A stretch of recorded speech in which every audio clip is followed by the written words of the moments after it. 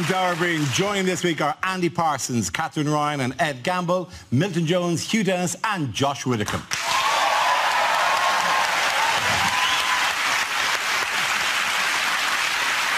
We saw it around called Picture of the Week. I showed the panel a topical image and asked me to tell me what's happening. So here's a picture of the four Labour leadership hopefuls. What's going on here? Is it AshleyMadison.com relaunches with hip new image? Is it a new band called No Direction? Yeah. Is it a game of shag, marry, avoid, help across the road? Is the photographer saying, could everyone with dark hair please smile like a murderer? Is it a charity appeal? Like for three pounds a month, you could buy these deluded fools fresh water and false hope. Is Yvette Cooper saying, no, I'm sorry, I haven't got any change? I think the helicopter that takes them away is going to be too small if it has to land on that H.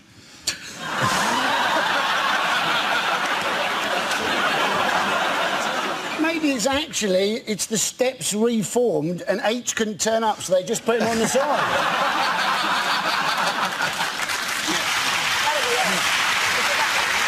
This is a photograph of two sisters and their brother. But when they came to develop it, there was actually an image of their long dead grandfather.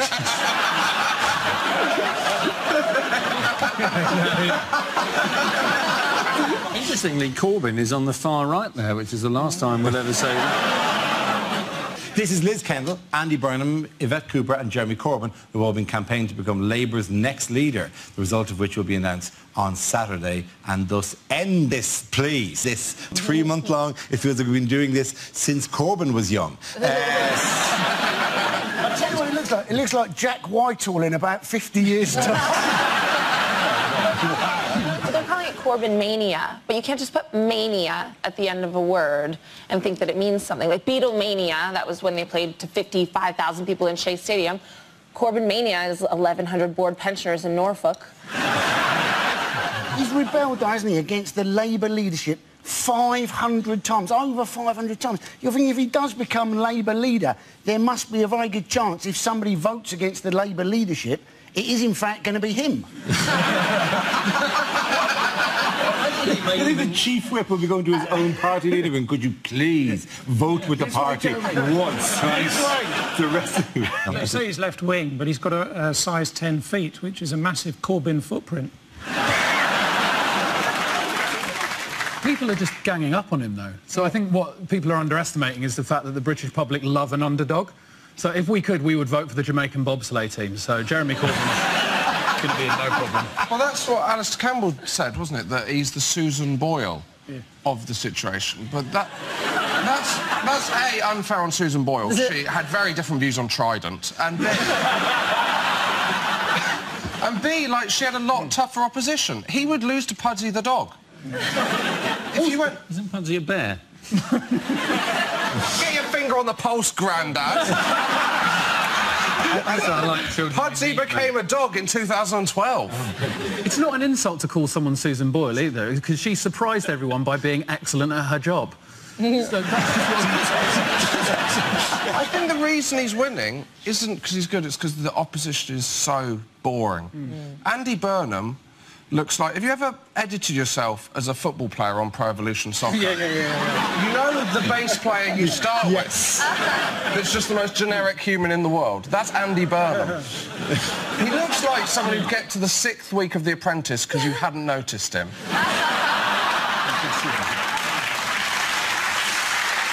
Uh, and then- You know, and I, And then and he I becomes spent team- all those weeks really dreading the one where we have to interview Andy Burnham for half an hour. And he'd become team leader and get kilograms and ounces mixed up, and that'd be it.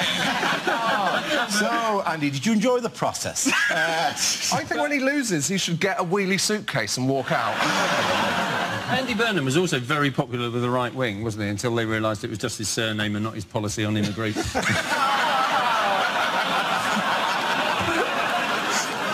By the way, I want to thank whoever from the uh, production company who left the disc-free Philips monitor user's manual on my desk uh, for me to see during the show. It's really handy. I'll upload that as the show proceeds. It's in two languages, in Japanese as well. Oh, it comes with the monitor drivers and the smart control software. Lovely. Ching ching. Uh, Does that mean that we've recorded none of this so far? in other news, what has Bob Geldof offered to do this week? Well, he's, he's offered to uh, have refugees uh, stay in his homes. Yes. If you stay with Geldof, do you have to be polite about his music? Because if I was like a refugee and I moved in with Bob Geldof and then first morning he came down and said, I've written a new song, I'd say, I'll take my chances in Calais. It's going to make Geldof easier to gas on through the keyhole, isn't it?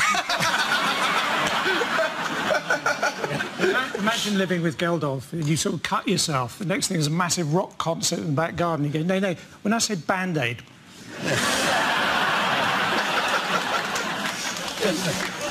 The, uh, but and, and others have also joined in this the, uh, and, and, and offered their homes. I mean, it's, it's happening a lot across the country. Nicola Sturgeon has offered, hasn't Yes, she has, yeah. Yvette Cooper Yvette has Cooper. offered, but she's very good with the downtrodden. She already has an unemployed man living in her house. The thing is, the people from Syria, aren't they? They're, they're basically they're desperate, Yes. and then they're trying to improve their chances by turning up in Greece. I mean, that's like trying to improve your IQ by watching ITV2, isn't it? You're wondering how many of the Greeks are actually going to try and get into Germany by pretending to be Syrians.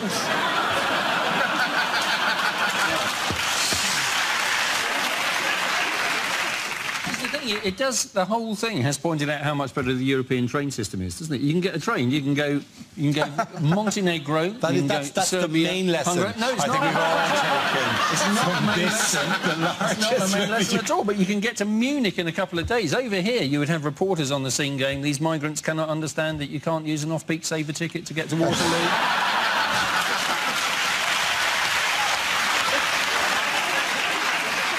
Well, you know, congratulations to the Germans, but I've, I'm going to say it. Historically, I've, I've never forgiven them. For... No.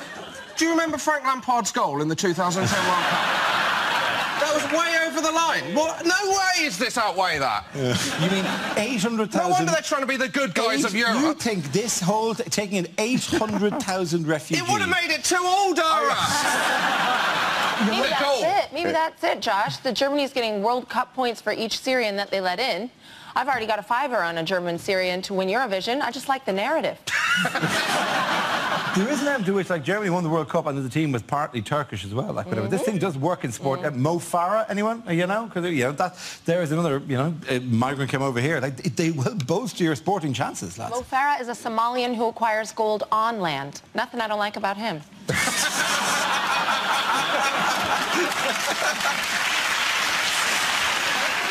I, I never thought I'd say this, but part of me wishes Hitler was still alive. Wow, this is... Let us just savour the moment Just of 'cause- build-up here. I want to know what's That's coming why they're going to edit that. So, that's the end of that round. Uh, no, because imagine his face. How livid he'd be. This is the ultimate victory over Hitler. Oh, see what you mean? Sorry. So, so not that Hitler is alive and still in charge of the Third No, Reich, no. Hitler is in a retirement home somewhere going, "Tausend Dumpfkoffen," uh, shuffling on while his Turkish nurse goes, Adolf, sit down. We've gone a long English, way. English, yeah. That was a long journey for me to set you up for your trademark impression, wasn't you it? very much. Always happy to throw in my little old man Hitler. Was sagst du? You can meet a Mexican at the same time. What? Hitler meets a Mexican. I, I can do that dialect. No, no, no, no, no, no, no, no, no, no. Was ist das? Yeah, uh, there is uh, the one I'm intrigued by is, that everyone's coming north rather than they're like they're the, in the middle of the Middle East. I mean, the question is, my fingers have been pointed at rich Middle East countries going, why aren't they? They're taking no one at all, right? And you got to go, well, the- well, you know, the United Arab Emirates can't because they spent all their money on Raheem Sterling. Uh, and Lebanon's got 1.2 million and Jordan's got a million. Excuse not, me, by not that, not that Jordan. Obviously, that would be a hell of an episode of what Katie did next. she has the land, for God's yeah, sake. yeah. They, could ri- they could ride horses. uh, I'm meant to be at a photo shoot, but I've got 1.2 million migrants in my stable block. Um, yes, it is. Oh my God! Hilariously, my monitor just stopped working. If only we had the instruction disc uh, for our monitor. the end of that round. The points go to Josh Hugh and Milton. Now we play a round called My Mock Shake Brings All the Boys to the Arch. This game involves Milton Jones and Ed Gamble, so if you could make your way to the performance area, please. This round is a stand-up challenge. I launched a wheel of news, and whoever chooses to stop, one of our performers must step forward and talk about that topic. Okay, here we go. First subject, please. And the first topic is relationships. Ed. So I've just moved in with my girlfriend. Thanks. Yeah, thanks. Cheers, thanks for the support, Mum. That's good of you. Uh, uh, it's good, it's exciting. The first time I've lived with a girl. Obviously, we're finding out a lot more about each other that we didn't know before. Uh, what I found out about her is she's kinder, funnier, more sensitive than I ever realised. What we've both found out about me is I am a terrible, terrible prick and so difficult to live with. Because it turns out I am a tidy person. I didn't realise. I thought I was normal. But apparently it is not normal to have a favourite J-cloth. she is a messy, messy lady. She is unbelievable. She's laid back, no worries. She says that a lot. No, who has no worries? Are you dead? Are you a robot? What's wrong with you? You should wake up, worry, go to bed. That is a full day as far as I'm concerned. She genuinely said this out loud the other day. Hakuna Matata. I'm starting to think the actual Swahili translation of that is doesn't hoover. Because there is underwear everywhere. This is an odd side effect of living with a girl that I did not fully anticipate. I no longer find women's underwear sexually titillating in any way whatsoever. Because I used to be able to just see underwear and that was enough to get me excited. Didn't have to be a woman in it. Just be a bra on the floor and I'd go, ooh, boobs were there. That's... It's enough. Now, nothing like that. I see a pair of knickers now, it's just something the remote control might be under. Well done, Obama. Very good. That leaves us with Milton. Let's see what you've been left with. Let's spin the wheel. And the topic is medicine.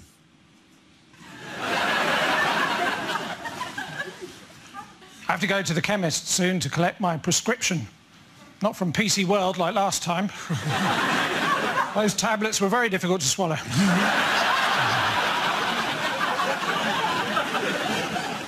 Recently I went to the chiropractors, or as they call them in the capital of Egypt, uh, the practors.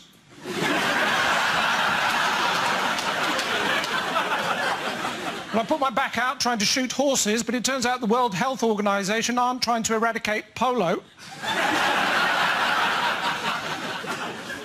My dad was a doctor, my mum was a nurse. They had six children. We all left home early. Well, they needed the beds. I remember the birthday I asked for that game, Operation. Three years I waited.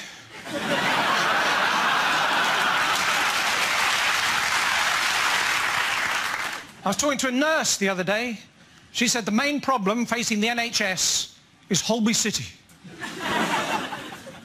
Actually, she might have said obesity. Well done. In that hand, points go to Ed Gamble. Let's in the back.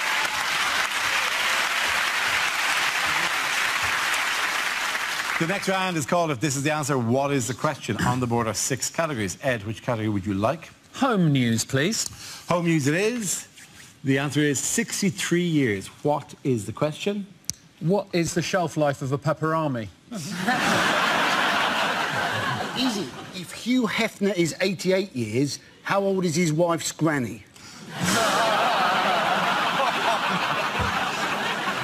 Is it, what is the battery life of my Nokia 3310?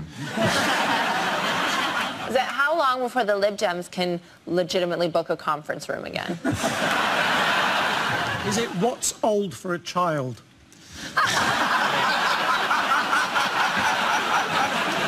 Is it how long will it take before that American dentist feels comfortable putting his new lion rug in the waiting Is it what does the TARDIS do to the gallon? How long in his five-year career has Jack Wilshere been injured for? How old does cheddar have to be before it's described as off rather than mature? is it how long um, has the Queen been our monarch? Uh, you're absolutely right. That is about the Queen. Congratulations. Thank you very much, Josh Wilkin. Yes. Yes, this week uh, the Queen surpassed Queen Victoria, 63 years, 7 months and 2 days, making her the longest reigning monarch in British history. Are you all excited about this? Yep. Yeah. Uh, okay. That's a very curious crown she's wearing there, isn't it? She's uh, double having... she's... Uh, she's uh, double having it, I think it's called. I somebody should have spotted that. I don't, well, you know, I've very little, I think very little about the Queen, but I hope on this particular day she was sitting in a room with a giant portrait of Queen Victoria, just ticking it off, just staring at Queen Victoria until, like, until her eye watch goes off, and she goes, "Take the picture down."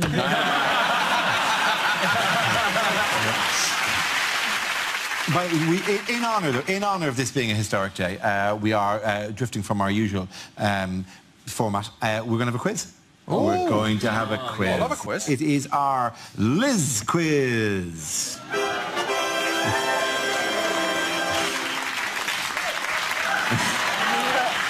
Obviously, we'd love like. the, I'd the like thank- expense that has been spent on that. I really want to thank you for coming in and recording that little uh, wave.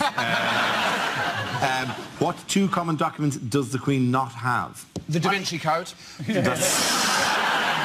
Life of Pi. Next. Yes. Oh, the rest of them, she has them all. She, yeah, she, She doesn't have a driving licence. she doesn't have a driving licence. no, although she has qualified to drive. Yes, she has. She can drive. She trained to drive in the army, as far as I know. She did, yeah. She Yeah. stripped down engines and everything. Uh, in the army. absolutely, yeah, yeah, Passport. yeah. Well, she, uh, doesn't have a driving licence and is the only person in the country who doesn't need a passport as they're issued in her name. And so she cannot issue in her own name because, you know, but I think she's relatively good on the ID front because she just take, yeah. take out a tenner and go, uh, uh, oh, you not get this? Go send a letter, bitch.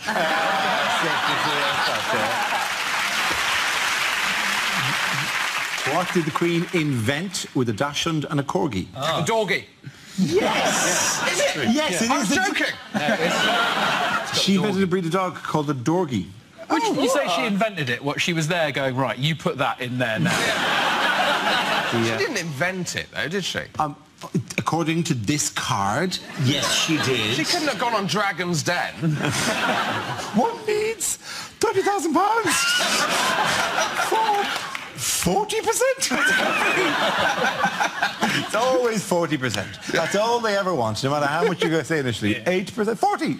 Uh, it's commonly known that the Queen owns UK swans, commonly known that yep. the Queen owns UK yeah. swans, says here. But what other water-based animals does she also have the right to own? Ducks. Not ducks, no. Shopping trolleys. I think it's... No, it's is it dolphins? It is. It's dolphins, whales, and Pretty big on sturgeons. the royal family. I know a lot you, of stuff. You really are, actually. It's quite worrying. Uh, well, anything, dolphins, whales, and sturgeons within three miles of the UK, she, they're hers. Do the dolphins know, or do they just stray in and then that's it? If they get too close, she's in a speedboat constantly. Just patrolling that three-mile limit around the country, right? And With her army of swans. With her army of swans, who, work as, who work to track them. When she does that wave, she's actually doing a fin motion to summon her dolphin army. Army of dolphins, assemble! I come here with an army of dolphins. I want forty thousand pounds for thirty-five percent of the company. I have invented a swolfin.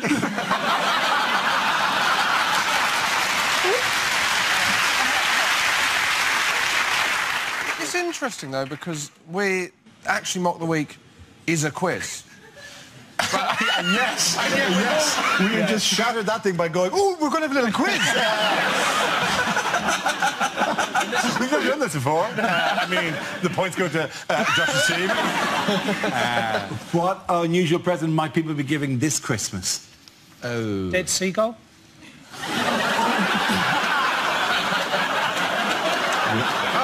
Have you ruined the surprise? You were, you were the worst Secret Santa ever.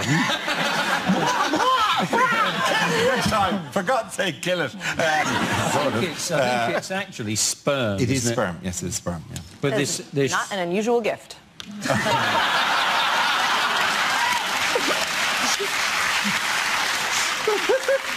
Horrific return policy.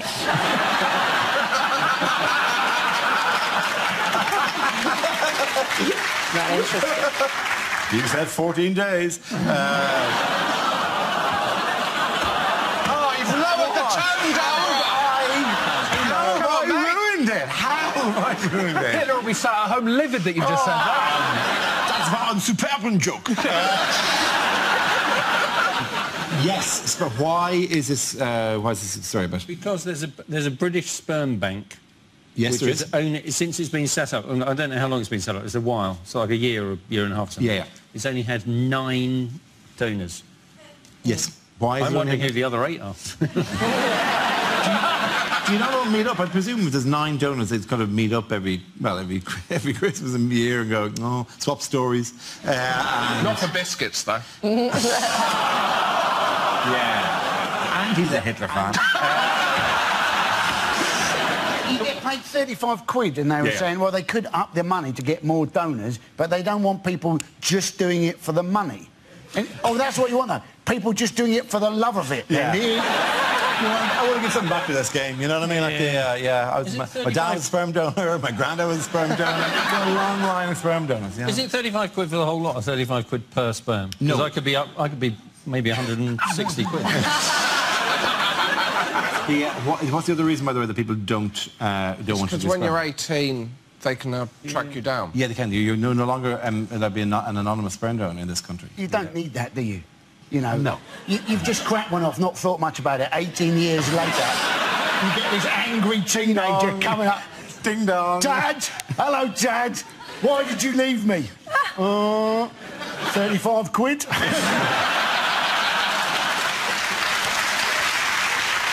No, there is. It, well, it's actually they've they've had a number of people attempt to be sperm donors. They need regular sperm donations, but it's a it's very difficult because it has to be frozen, and then returns with the sperm has to have a very high motility, a very high. But it's not very difficult to be the donor. No, no, it's, no. It is very. it's many very, ways, it's the easiest job in the world. In, in many. Yes. Well, no, because you've got to go in, haven't you? You've got to go into the bank. Like, I don't know about anyone else. I do most of my banking online now. So.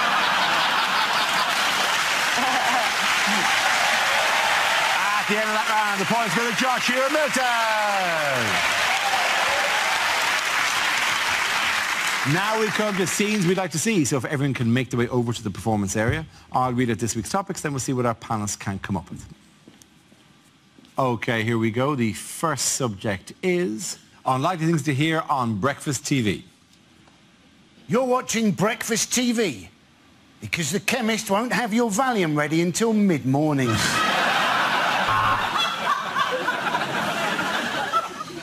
Breakfast news now. A man has drowned in a bowl of Cheerios. Sadly and ironically, his family didn't get a chance to say goodbye.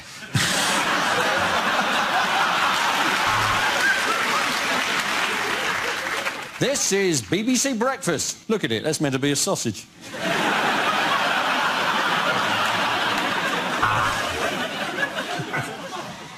Now, if you didn't see earlier on, we had steps. And that's why we interviewed Stephen Hawking outside.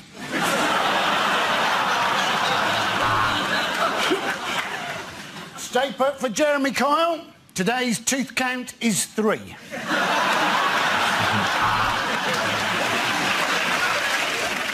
The world of show business has suffered another tragic loss. But don't worry, it's one of the ones you already thought was dead.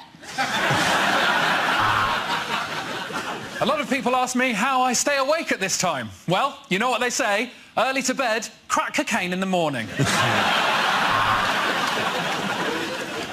Today we're looking at the world's biggest birthday. Ca- oh no, Eamonn's in it.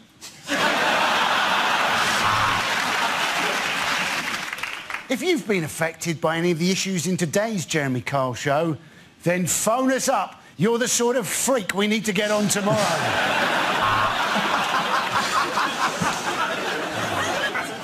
Later on, we'll be meeting a man who has to go through 50 steps before he can orgasm. All that to come.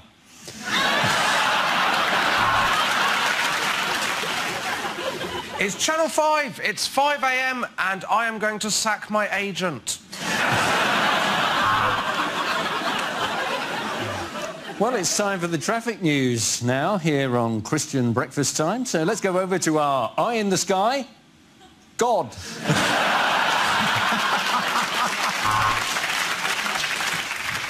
If you hear a knock at your door, you could be the winner of 20,000 pounds. Two knocks and it's a police raid. Hide the guns. Now we're going over to the kitchen where Chef Tony will be cooking up an excuse for why he's been texting my wife. Next up on Channel 4 Breakfast, it's a brand new homegrown British sitcom. Only joking, it's Everyone Loves Fucking Rape. Well, let's take a look at the traffic. There it is. brum, brum. Well, I'm looking forward to this one. In the studio, we've got the new Doctor Who. Accidentally killed someone.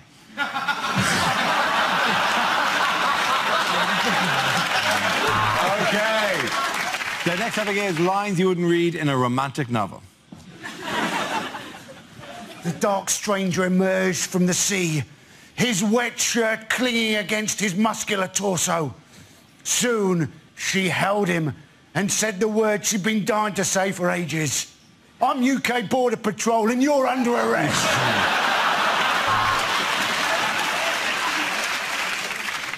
She felt every part of his eight inches. He was stiff, absolutely rigid, and even in her innocence, she knew her hamster was dead.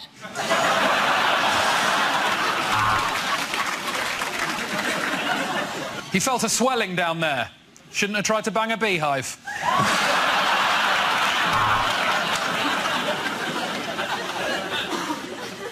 He took her hand in his and squeezed it. Now he thought, I wonder where the rest of her body is.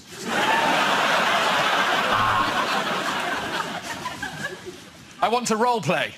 I'll be a prince from a mythical land, and you be your sister.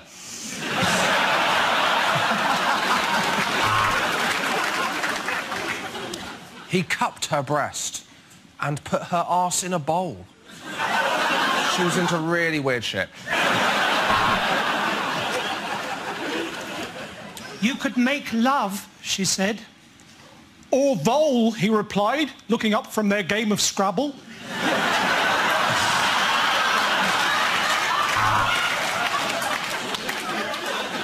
She felt her bosom heaving as Mr. Darcy came ever closer. Blimey, he said. You don't get many of them to the pound.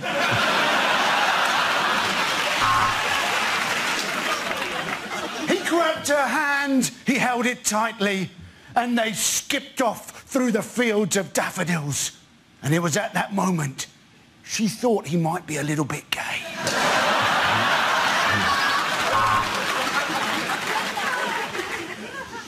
He looked at the tattoo of Chinese writing on her back. He didn't know what it meant, but he did know she'd put out on a first date. Jeremy Corbyn, you've got me blindfolded. What are you going to do now? Nothing. I just wanted to highlight the injustice of inmates detained at Camp X-Ray without a fair trial.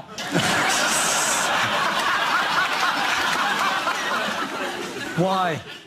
Why does it end like this? She said. Childhood accident, he replied. I crushed it in the trouser press.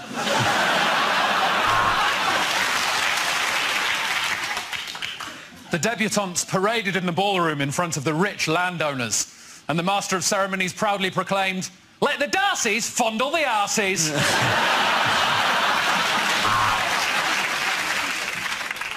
Marjorie, I'm going to kiss you like you've never been kissed before.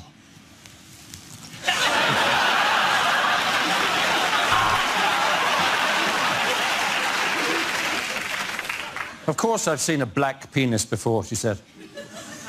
Just never attached to a white man. At the end of that round, the point's going to end. Katherine and Andy.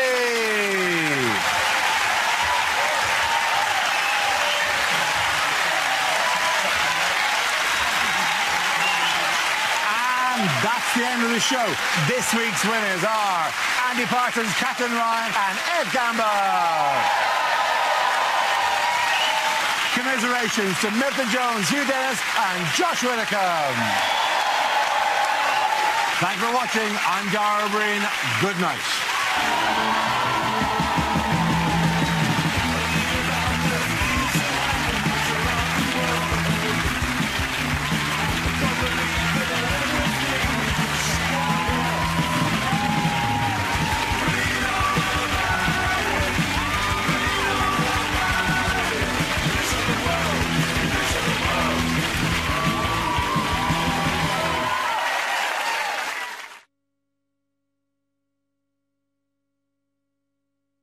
Tell. It's a while. It's like a year or a year and a half. Something. Yeah, yeah. It's only had nine donors. Yes. Why is I'm it only- wondering who the other eight are. Do you not all meet up? I presume if there's nine donors, it's got to meet up every, well, every every Christmas and year and go, oh, swap stories. Uh, and, Not for biscuits, though. yeah. And he's a Hitler fan.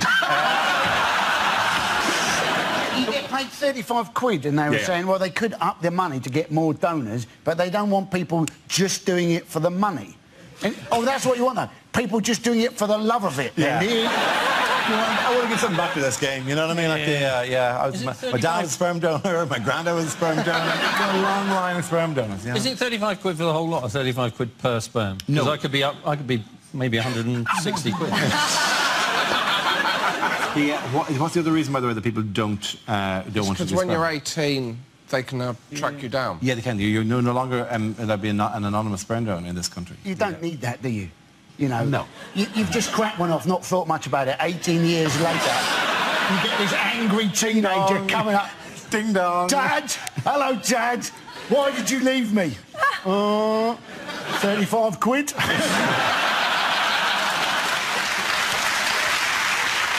No, there is. It, well, it's actually they've they've had a number of people attempt to be sperm donors. They need regular sperm donations, but it's at the end of that round. The points go to Josh Joshua Milton. Now we come to scenes we'd like to see. So if everyone can make their way over to the performance area, I'll read out this week's topics. Then we'll see what our panelists can come up with. Okay, here we go. The first subject is unlikely things to hear on breakfast TV. You're watching breakfast TV because the chemist won't have your Valium ready until mid-morning.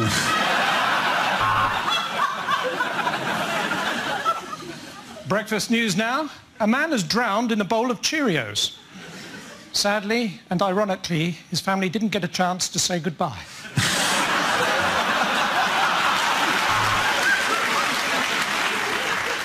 this is BBC Breakfast. Look at it, that's meant to be a sausage.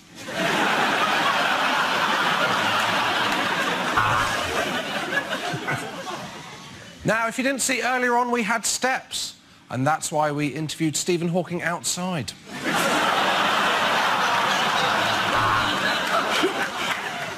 Stay put for Jeremy Kyle. Today's tooth count is three.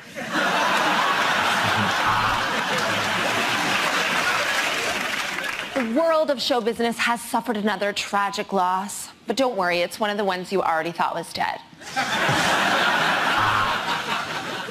A lot of people ask me... I, I'll take my chances in Calais. It's, it's going to make Geldof easier to gas on through the keyhole, isn't it? Imagine living with Geldof and you sort of cut yourself. The next thing is a massive rock concert in the back garden. You go, no, no, when I said Band-Aid,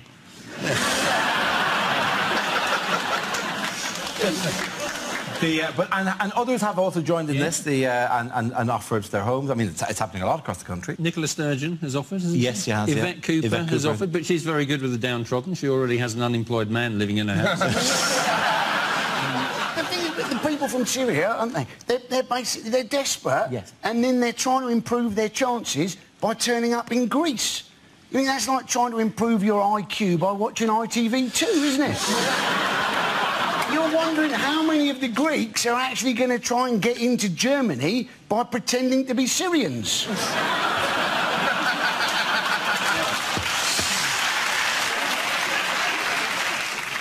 Thing, it- it does, the whole thing has pointed out how much better the European train system is, doesn't it? You can get a train, you can go, you can go Montenegro, That can that's that's the main lesson. Hungary. No, it's I not. think we've all taken. It's not the main this, lesson. It's not the main lesson at all, but you can get to Munich in a couple of days. Over here, you would have reporters on the scene going, these migrants cannot understand that you can't use an off-peak saver ticket to get to Waterloo.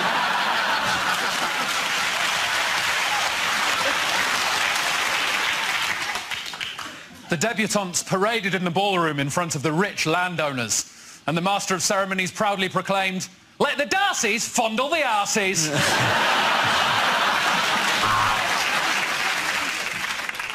Marjorie, I'm going to kiss you like you've never been kissed before.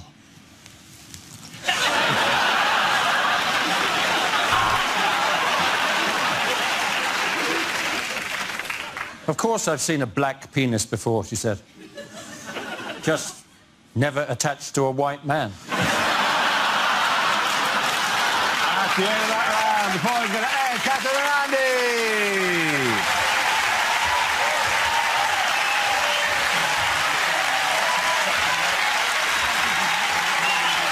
And that's the end of the show. This week's winners are Andy Parsons, Katherine Ryan and Ed Gamble. Commiserations to Milton Jones, Hugh Dennis and Josh Widdicombe. Thanks for watching. I'm Dara Ó Briain. Good night.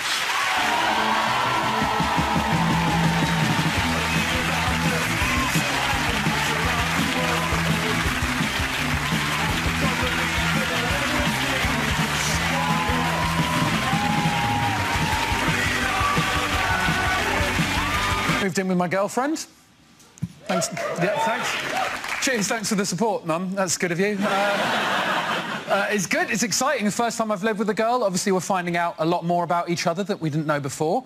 Uh, what I found out about her is she's kinder, funnier, more sensitive than I ever realised. What we've both found out about me is I am a terrible, terrible prick and so difficult to live with. Because it turns out I am a tidy person. I didn't realise. I thought I was normal. But apparently it is not normal to have a favourite J-cloth. she is a messy, messy lady. She is unbelievable. She's laid back, no worries. She says that a lot. No, who has no worries? Are you dead? Are you a robot? What's wrong with you? You should wake up, worry, go to bed. That is a full day as far as I'm concerned. She genuinely said this out loud the other day. Hakuna Matata. I'm starting to think the actual Swahili translation of that is doesn't hoover. Because there is underwear everywhere. This is an odd side effect of living with a girl that I did not fully anticipate. I no longer find women's underwear sexually titillating in any way whatsoever. Because I used to be able to just see underwear and that was enough to get me excited. Didn't have to be a woman in it. Just be a bra on the floor and I'd go, ooh, boobs were there. That's... It's enough. Now, nothing like that. I see a pair of knickers now, it's just something the remote control might be under. She felt her bosom heaving as Mr. Darcy came ever closer. Blimey, he said. You don't get many of them to the pound.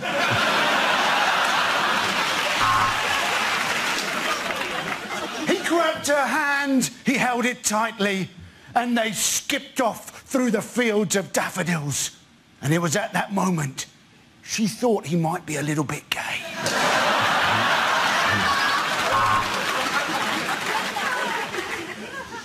He looked at the tattoo of Chinese writing on her back. He didn't know what it meant, but he did know she'd put out on a first date. Jeremy Corbyn, you've got me blindfolded. What are you going to do now? Nothing. I just wanted to highlight the injustice of inmates detained at Camp X-Ray without a fair trial.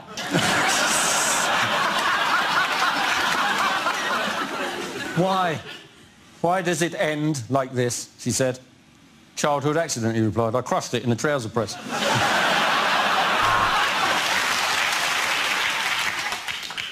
The debutantes paraded in the ballroom in front of the rich landowners. And the Master of Ceremonies proudly proclaimed, let the Darcys fondle the arses.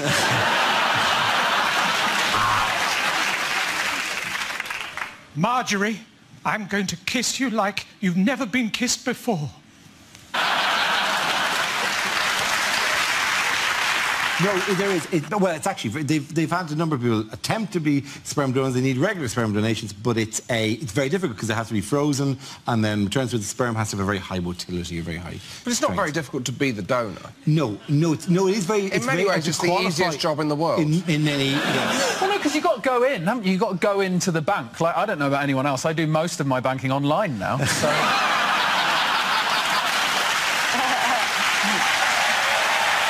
At the end of that round, the points go to Joshua Milton. Now we come to scenes we'd like to see. So if everyone can make their way over to the performance area, I'll read out this week's topics, then we'll see what our panelists can come up with. Okay, here we go. The first subject is unlikely things to hear on breakfast TV. You're watching breakfast TV. Because the chemist won't have your Valium ready until mid-morning.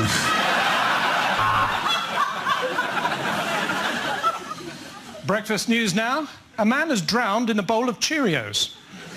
Sadly and ironically, his family didn't get a chance to say goodbye.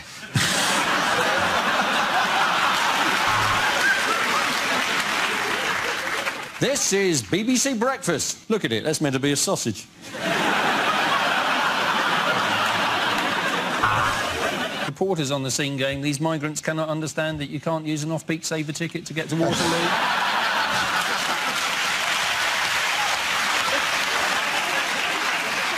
Well, you know, congratulations to the Germans, but I've, I'm going to say it. Historically, I've, I've never forgiven them. For... No.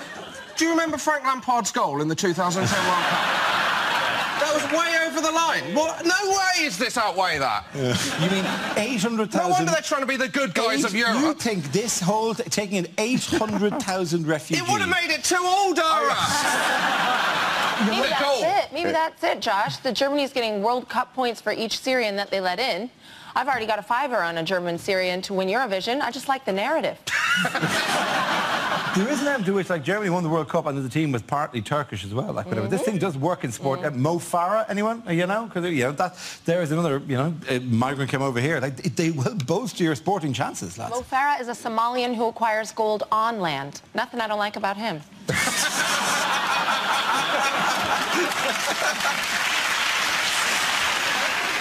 I, I never thought I'd say this, but part of me wishes Hitler was still alive. Wow, this is... Let us just savour the moment Just of 'cause- build-up here. I want to know what's That's why they're going to edit that. So, that's the end of that round. Been affected by any of the issues in today's Jeremy Kyle show? Then phone us up. You're the sort of freak we need to get on tomorrow.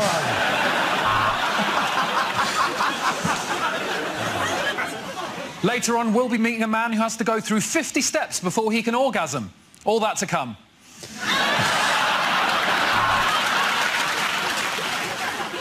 It's Channel 5, it's 5 a.m. and I am going to sack my agent. Well, it's time for the traffic news now here on Christian Breakfast Time. So let's go over to our eye in the sky, God.